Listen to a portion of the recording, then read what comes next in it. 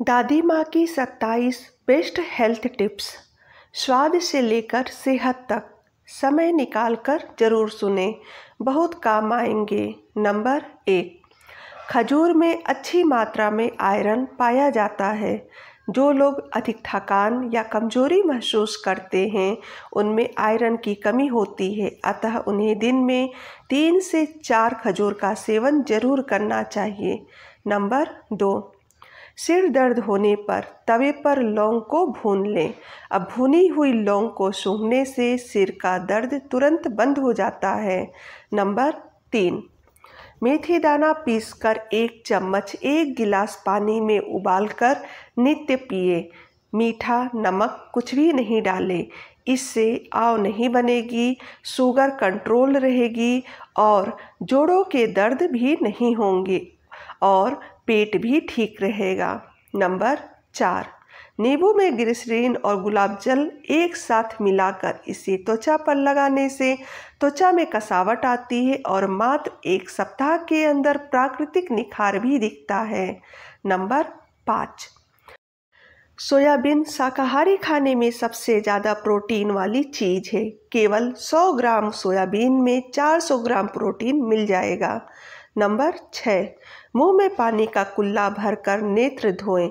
ऐसा दिन में तीन बार करें। जब भी पानी के पास जाएँ, मुँह में पानी का कुल्ला भर ले और नेत्रों पर पानी की छींटे मारें और उसे धोएँ। मुँह का पानी एक मिनट बाद निकाल कर पुनः कुल्ला भर ले। मुँह का पानी गर्म ना हो। इसलिए बार बार कुल्ला नया भरते रहे। इससे आपकी आँखों की आरोग्य शक्ति बढ़ती है। नंबर सात।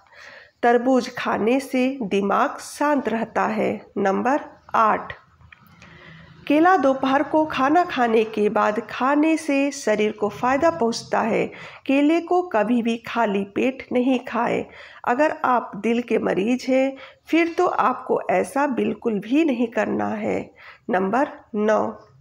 रोटी बनाते समय हाथ जल जाए तो आलू काट कर उसका टुकड़ा लगा ले, आराम मिल जाएगा। नंबर दस।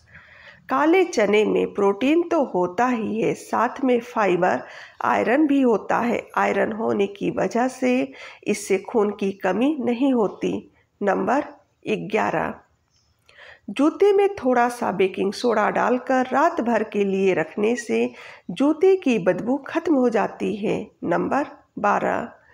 दूध के साथ नमक अथवा नमकीन पदार्थ खाने से विभिन्न प्रकार के चर्म रोग होते हैं। नंबर तेरह। एक चम्मच शहद गर्म करके दिन भर में एक बार खाने से कफ की समस्या दूर हो जाती है। नंबर चौदह। मुँह से प्याज, लहसुन की बदबू दूर करने के लिए ग्रीन टी पीना सबसे अच्छा उपाय होता है। नंबर पंद्रह। पेट ज़्यादा बढ़ गया है तो लहसुन के रस से पेट पर मालिश करने से पेट कम होने लगता है। नंबर सोलह। बालों को स्पा करना चाहते हो तो भूल कर भी पार्लर वालों के पास मत जाना। नहीं तो बालों को जलाकर राख कर देंगे। बालों को घर पर स्पा करना है तो एक चम्मच चीनी लें थोड़ा सा नारियल तेल और अपना मनपसंद कोई शैम्पू ले। लास्ट में एलोवेरा जेल डालकर मिक्स करके नहाते वक्त इसे अपने बालों को वॉश कर ले। फिर आप देखना आपके बाल इतना ज़्यादा सिल्की और मुलायम हो जाएँगे कि बालों को स्पा करने के लिए आपको पार्लर में जाने की कभी ज़रूरत ही नहीं पड़ेगी। नंबर सत्रह। आम के पत्ते चबाने से दांत साफ़ होते हैं।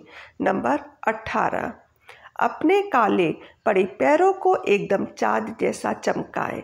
सिर्फ़ एक नेचुरल रेमेडी लगाकर इसके लिए आपको एक चम्मच नमक लेना है। उसमें किसी भी कंपनी का एक पैकेट शैम्पू डालें। शैम्पू डालने के बाद उसमें आधा चम्मच नींबू का रस डालें। फिर इसमें आधा चम्मच सोडा डालें और फिर थोड़ी सी हल्दी डालें। हल्दी डालने के बाद इसे अच्छे से मिक्स करें। अब इस पेस्ट को अपने कालेपन हिस्से पर लगाएँ। स्किन कितनी भी काली हो इसे लगाने से एकदम गोरी हो जाएगी। नंबर उन्नीस। काली मिर्च खाने से सर्दी खांसी ठीक होती है। नंबर बीस। कैंसर के रोगी का जो दवाई चल रही है, उसे चलने दें। किंतु उसके साथ शीशम के पेड़ की पत्ती का जूस पंद्रह दिनों तक पिलाएँ। उसके बाद शीशम के पत्तों का रोज़ाना चबाना शुरू कर दें।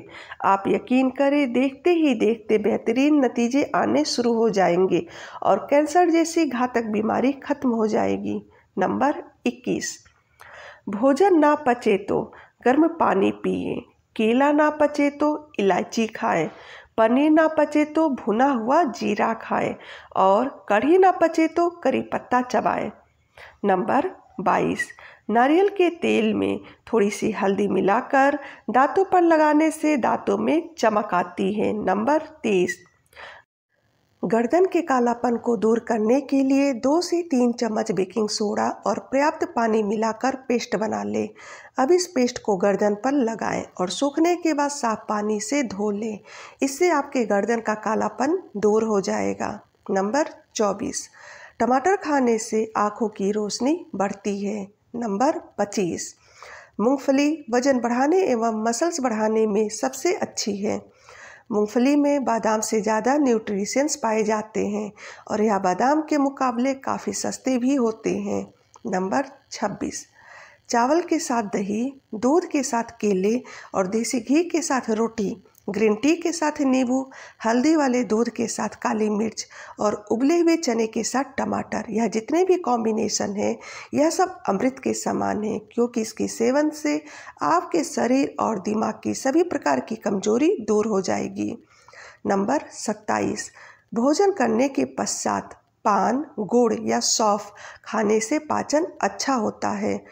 तो फ्रेंड्स आज की वीडियो में बस इतना ही। अगर आपको हमारे द्वारा दी गई जानकारी थोड़ी सी भी अच्छी लगी हो तो वीडियो को लाइक और शेयर करें। चैनल पर नए हैं तो चैनल को सब्सक्राइब करके बिल नोटिफिकेशन को ऑल पर सेट कर लें ताकि आपको ऐसे ही अच्छे अच्छे वीडियो देखने को मिले। वीडियो देखने के लिए आपका बहुत बहुत धन्यवाद।